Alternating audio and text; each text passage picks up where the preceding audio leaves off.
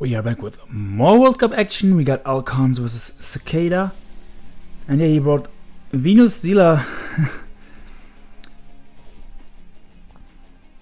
he switches out the mute turn 1 as he brought some Mega Pinsir, bulky offense, and with these Ash Greninja with spikes, so it's gonna be specs.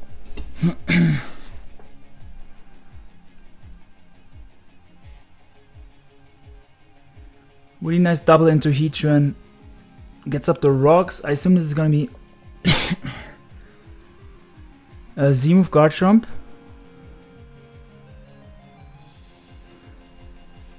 I've also seen Sitrus Berry guard Garchomp on these type of builds. But he also has a lot to check that by because if it's the only Zadwai switch in I've or Zadwai check I've seen uh, Sitrus Berry Garchomp. I'm breathing a bit heavy if you guys are wondering. I might sound a bit weird because I just ran up the stairs and this game started. Cicada is playing for Team France. And Lcans is playing for... I, don't remember if it's Latin America or Spain. I think it's for Latin America. He goes for the fire thing. I don't think that Cicada did see the FD coming. I think he thought this was Scarf or something. I'm not really sure, but he his Mew was in it and he got, tried to pivot it to Tapu Bulu in the Earthquake.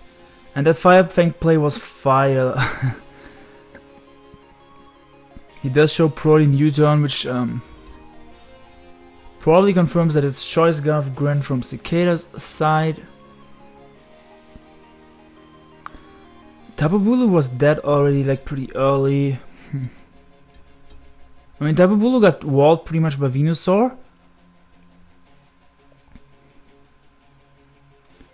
But he could have doubled in, in the Pinsir on the Venusaur and then maybe if he had like knockoff he could have weakened the Celesteela, but most Pinsir don't run that.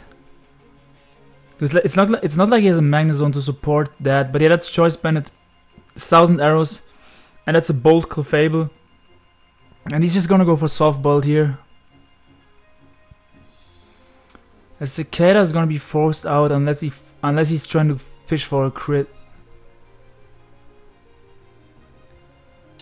I can see him going to Pinsir, I can see him going to Heatran. Lcans doesn't have... Actually, he has a Lati, but yeah, he doesn't have hazard control besides Lati. And I assume the Lati is going to be Choice Scarf, so that's not the most reliable hazard control. So this is gonna be Stealth Clefable. He did stay in. This doesn't really help Cicada unless he's really fishing for the crit.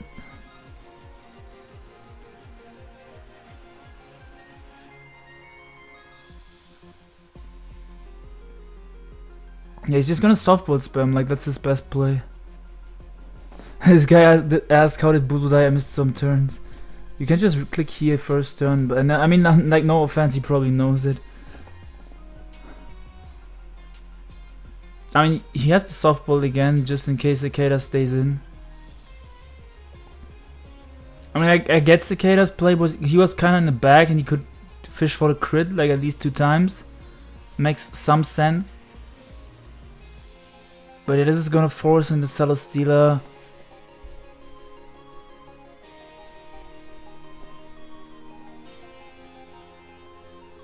So Cicada kinda has to double in the Heatran here, right? I don't know if these double switches get him anywhere. Like if you would, if if double into Heatran doesn't, does it even help him that much? Lcans would probably go into um in a Garchomp or Greninja if Heatran comes out on the double switch here on the Celesteela.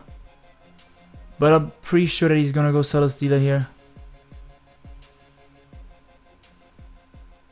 Unless he's next level and predicts a Swords Dance from the Pinsir and he goes hard into Greninja or Latios, which is that's not a play, like you're never gonna make that play.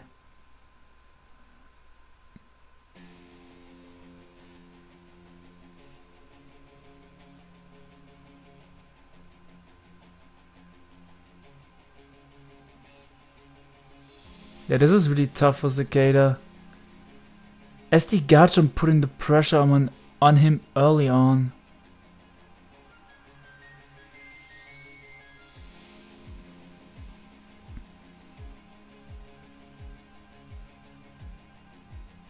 Yeah, he does. He did go for Swords Dance. But what is this gonna do? Like frustration doesn't do that much. It doesn't. It does like 30 maybe, 35. It's just a head calc. And like even if he has close combat, it's not gonna do too much, and it would lower his defenses. So you're probably dead of flamethrower if you had close combat. Like I can show you guys the first uh, the frustration calc.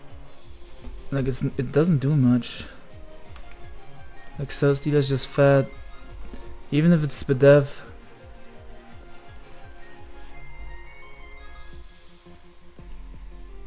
Yeah, see it does okay at plus two it does more. It actually does 55. Wait, what the fuck? That does so much. Okay, fin Pins is a savage beast. I did not mean to underestimate you, Pinsir. Holy fuck. Okay, th that head calc was completely off. Like, I thought it would do like 20%. I think the reason that I thought that it because I saw ABR use Fist of Celesteela. And, like, that was like the last scenario that I remember what was Pinsir versus Celesteela. And ABR Celesteela was so was like max defense or like near max defense. And it bounced completely off. I think that's why I thought it would do nothing.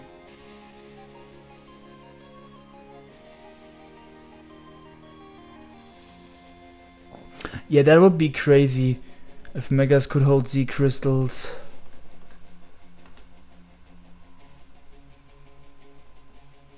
That with a priority, it's crazy too. That will be a bit too wild for me. Sun Moon is already wild enough.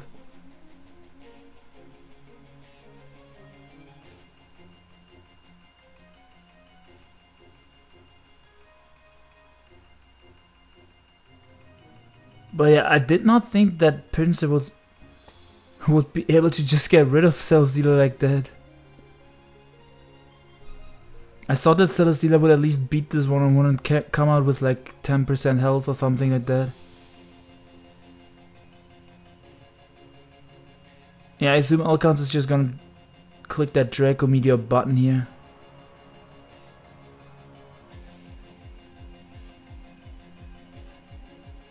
Because, oh, he did click Psyshock. I thought you wouldn't click Psyshock because it doesn't hit the Mew very hard, and also, in case Cicada goes hard Greninja. I mean, you will never go hard Greninja there, but just saying. It hits Mew harder, it hits Gren harder. Like, it hits Gren, Psychic Shock doesn't hit it. And I think it also hits the Tren a bit harder, but if he has... If he has some tech for the trend. Nah, I think he's... I'm pretty sure he's Choice Scarfed. I'm surprised that he went for regular 5 and with the Garchomp. What I was an item from the guard Garchomp revealed? I'm not sure about that.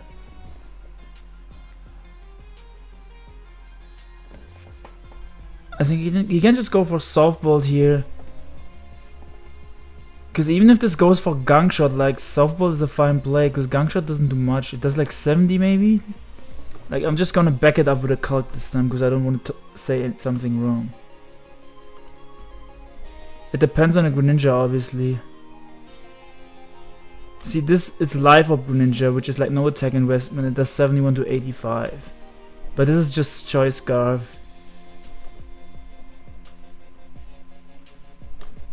But yeah, if it has max attack, that might even out the fact that, that it doesn't have a Life Orb. Like it's lacking the power of Life Orb.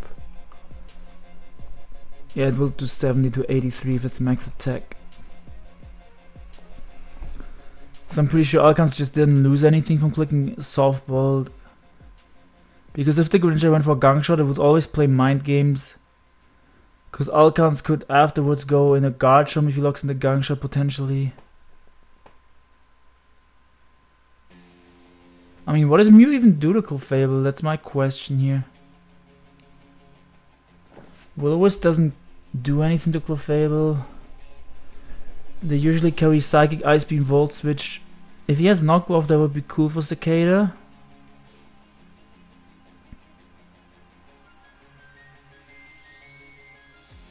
He just has Ice Beam, so is he really, is he going for the freeze?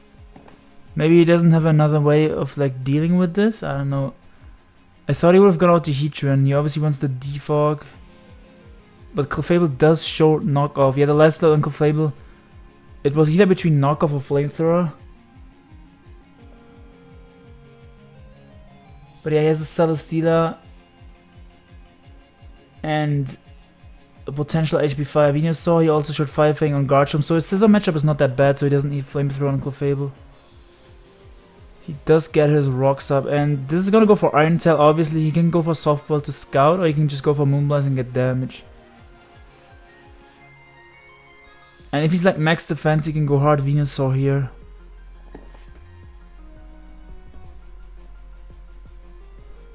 You can also go hard Greninja if he has Ice Beam. Yeah, hard Greninja is, is an option, depending on his last move slot.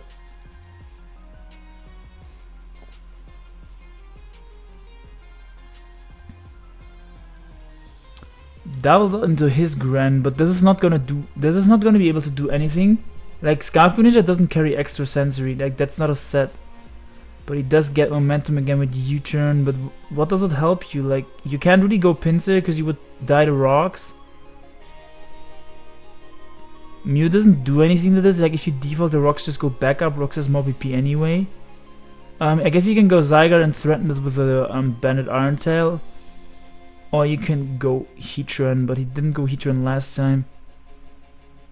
He might be Scarftron, we don't have any information.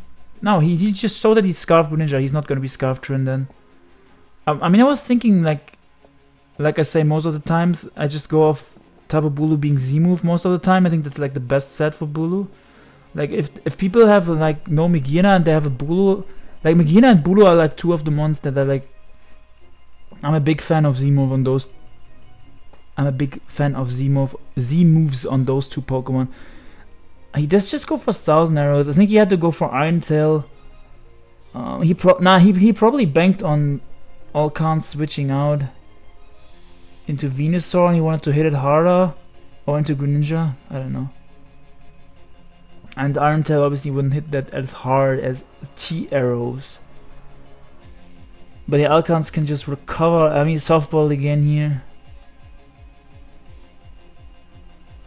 Like this doesn't do anything for Cicada. He's slowly healing up. But yeah, I don't. If the Heatran doesn't have anything to like scare to like threaten Alcon's team, I guess Heatran would just give the Chomper or the Greninja a switch in. Yeah, I don't really see how Cicada could like make progress in this matchup. So I understand that he's like trying to crit fish or something. Like I don't really see what else would his play be. Uh, losing Tapu Bulu was obviously huge. He gets a crit Moonblast, it shouldn't matter too too much. He's gonna Soft-Boiled up here. Um, Greninja going for spikes or dark pulse here. How healthy is the Gren? Yeah, I think I would just click dark pulse at this point because he doesn't have good switch ins. Like his resist is his own Greninja basically. Heatran will probably get 2 KO'd. And Zygarde will also get 2 hit KO'd, I'm pretty sure. And Pinsir and Mew obviously both die to Dark Pulse if this is specs, which most Ash Grants are. So this is gonna do like, oh, he went for Hydro Pump. That was a potential roll.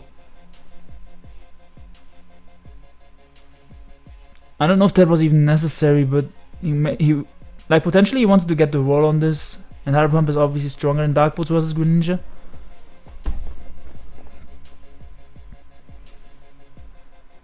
Like I didn't think he lost anything from clicking um, Dark Pulse there, but he hit, so it's fine.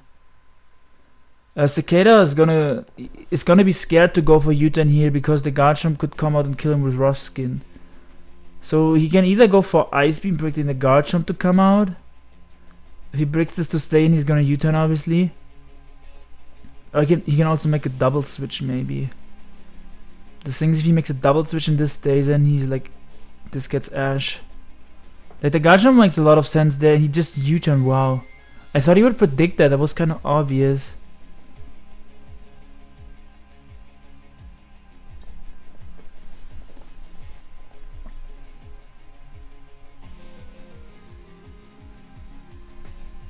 This is just a free switch into Clefable. Like, I don't see Cicada winning this at all.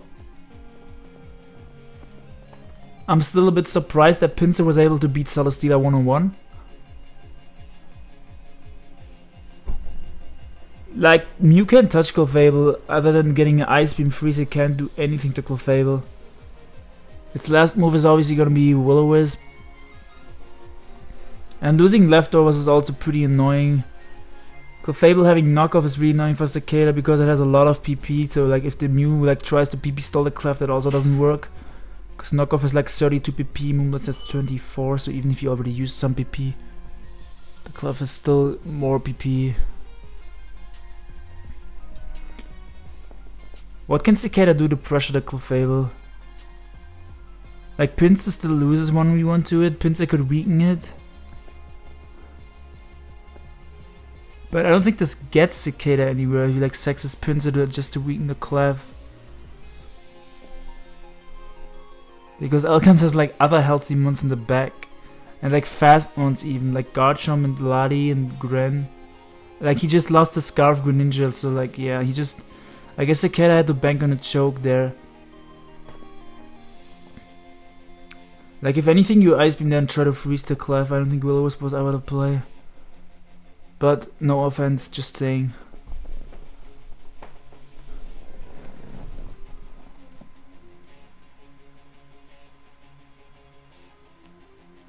Yeah, he's just gonna get the Star Fox back up here.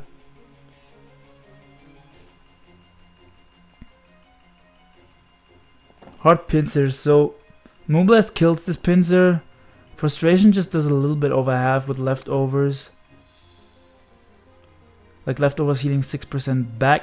And Desire is gonna get a kill now with 1000 arrows. Unless absolute min damage and this lives somehow, but I don't think, I think this always kills, right? Maybe not always, but like most of the time. Venusaur's gonna be able to Mega Evolve and eat that up. Like it did 58, I assume it's gonna do like, it might be a roll actually. That did a little bit more than I thought it would do.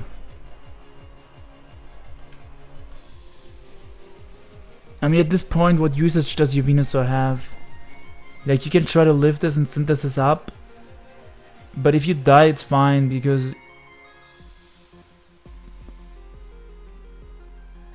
You can just go Lati or Greninja after. You can even go Garchomp, it doesn't really matter, right? Like, you have a lot of options if you're Alconzia, basically. Even if you lose your Venusaur.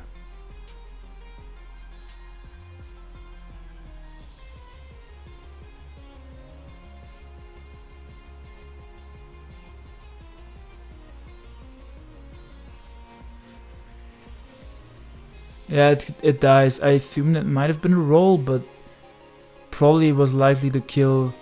Because from 58 to like... Like Venusaur gets some extra defense, but it... Maybe the Venusaur was more Spadef orientated or offensive.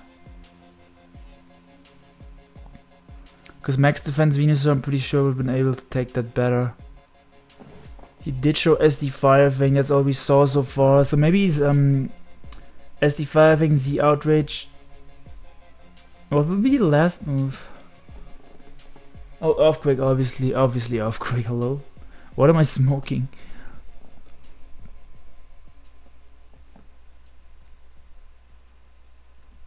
So, I think he just clicks the Z move here, right? Because he, he doesn't want to... If, it, if it's the Outrage, that is. Because he doesn't want to lock himself into Outrage. I don't think it matters, but Z, like if you have the Z move, you just click it here, like that's the safest play. I don't think you have used the Z move so far. Yeah.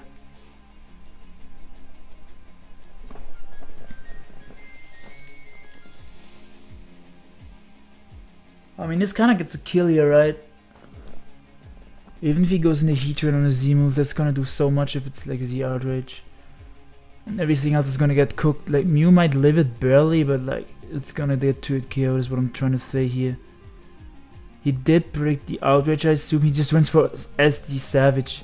I mean, it makes sense because he probably... I think T Arrows does like 70 or 65 or so to this. So he earthquakes this, and this game is basically over. Lcans just wins